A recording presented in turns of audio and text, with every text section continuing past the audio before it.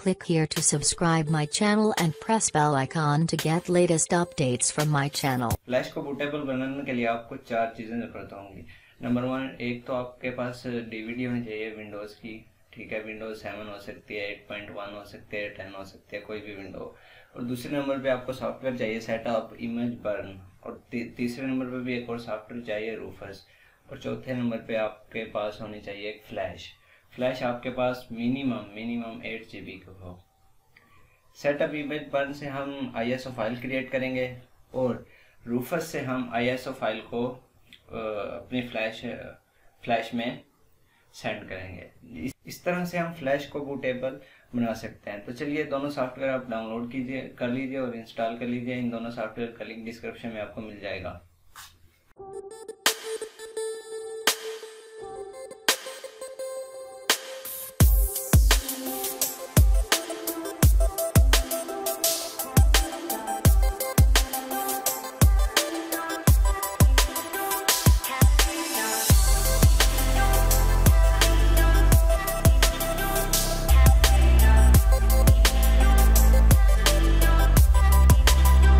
Software install होने के बाद आपने इमेज बर्न को ओपन करना है।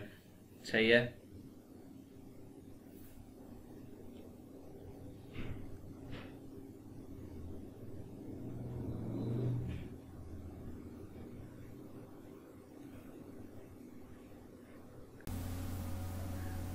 आपने विंडोज़ की जो डीवीडी है उसको आपने डीवीडी रोम में इंसर्ट कर, करना है और अपने जो फ्लैश है उसको भी आपने अपने सिस्टम के अंदर इंसर्ट कर देना है।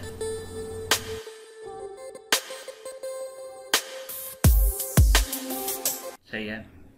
और उसके बाद आपने यहाँ पे क्लिक करना है create image file from disk सही है। यहाँ से आपने इसकी स्पीड को कर देना है ट्वेल्व एक्स और फिर यहाँ पे क्लिक कर देना।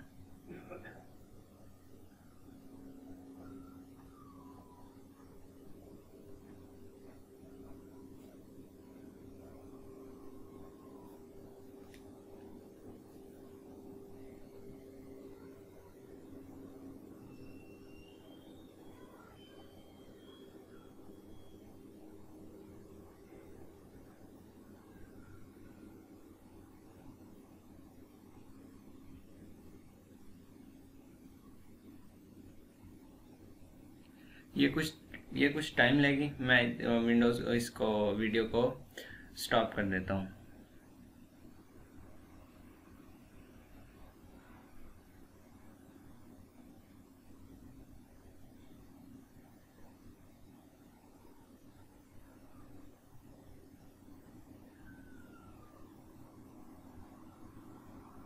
सो so, हमारी आईएसओ फ़ाइल जनरेट हो गई है।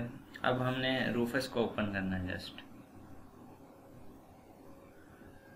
ओके रूफस की अच्छी बात यह है कि हमें इसको इंस्टॉल नहीं करना पड़ता। ओके यहाँ से आप I S O image select कीजिए और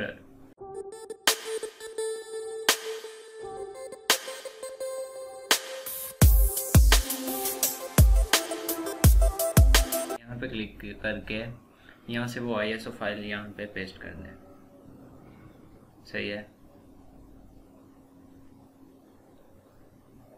और फिर स्टार्ट पे क्लिक कर दें। स्टार्ट पर क्लिक करने के बाद यूएसबी फॉर्मेट हो जाएगी और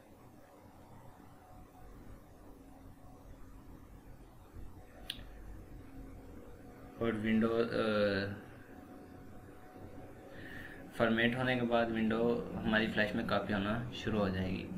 ये तकरीबन अगर आपके पास U S B two point zero processor किया तो तकरीबन चौदह से पंद्रह मिनट लेगी अगर आपके पास थ्री पॉइंट ज़ीरो प्रोसेसर वाली यू एस बी है तो फिर आप, आपके, आपको सिर्फ़ चार से पाँच मिनट लेगी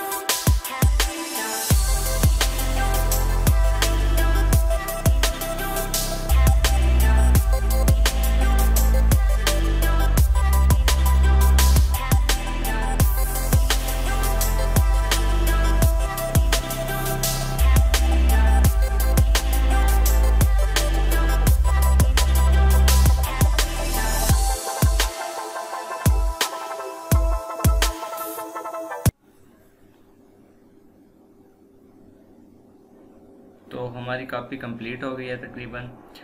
और इसके बाद आपने करना क्या है? आपने जस्ट अपनी यूएसबी को इजेक्ट करके दोबारा इंसर्ट करना है।